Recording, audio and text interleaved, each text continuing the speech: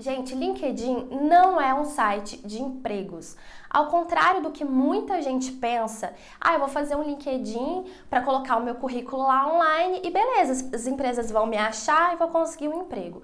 Não é bem assim. O LinkedIn é uma rede social e nela você pode trabalhar muito bem o seu marketing pessoal, você pode fazer conexão com empresas e outros profissionais com características semelhantes ou que você admira, e empresas principalmente podem usar o LinkedIn e devem para mostrar o que vai além da marca dela, o que as pessoas não sabem sobre aquela marca. Então, assim, as causas que aquela empresa apoia, a cultura corporativa daquela empresa, os eventos que ela participa, como elas treinam seus funcionários, como elas lidam com seus clientes. Então, essa é uma ferramenta incrível para o mundo aí do business.